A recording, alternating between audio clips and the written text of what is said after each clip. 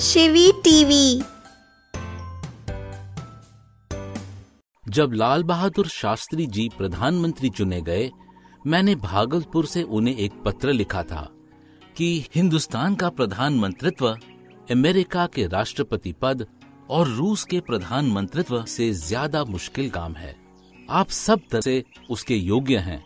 मुझे अगर चिंता है तो केवल आपके स्वास्थ्य की।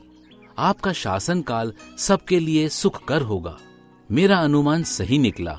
उनका राज्यकाल सबके लिए हितकारी सिद्ध हुआ, लेकिन स्वास्थ्य ने उनका साथ नहीं दिया। हिंदुस्तान भयानक कठिनाइयों से भरा देश है, और यही उसके प्रधानमंत्री के पद को कठिन बना देता है। जो आदमी कम से कम चौदह घंटों तक डट कर काम नहीं कर सकता, वह इस देश का नेतृत्व नहीं संभाल सकता। ये बात शास्त्री जी को भी मालूम थी और बीमारी के बाद उन्होंने अपना पोर्टफोलियो कम कर दिया। लेकिन वे देश के प्रधानमंत्री थे और देश में जो कुछ होता, उसकी जवाबदेही उन्हीं के सिर पर थी। मैंने उन्हें काम करते हुए देखा है। विनम्रता और सादगी उनके सबसे बड़े गुण थे। लेकिन वे इतने भी सीधे नहीं थे कि लोग उन्हें चकमा दे जाएँ और न ही इतने विनम्र कि कोई भी उन्हें झुका दे। जब असम में असमी और बंगाली भाइयों में दंगा हुआ, पंडित जी ने वहाँ लाल बहादुर जी को भेजा। उन्होंने वहाँ कई दिनों तक झगड़ा सुलझाने का प्रयास किया और अंत में झगड़े को निपटाकर ही दिल्ली लौटे। संसद में एक अंग्रेज़ी समर्थक विधेयक पेश किया गया था। वह घोर रूप से बदनाम विधेयक था और संसद के सदस्य काफ़ी चिढ़े हुए थे। तब सभी सदस्य अपनी भड़ास शास्त्री जी पर निकालते थे, पर वे हमेशा मुस्कुराते रहते थे। लाल बहादुर जी को जो सेना मिली थी, वह ग्लानी के भार से दबी हुई थी।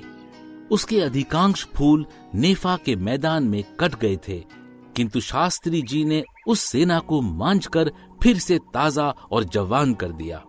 जब अमेरिका ने बाधा डाली कि अन्न हम तुम्हें महीने महीने देंगे तब उन्होंने देश को बड़ी ही संजीदगी से ये सलाह दी कि पेट पर रस्सी बांधो, साग सब्ज़ी ज़्यादा खाओ, सप्ताह में एक शाम उपवास रखो। हमें जीना है तो इज़्ज़त से जिएँगे, वरना भूखे मर जाएँगे।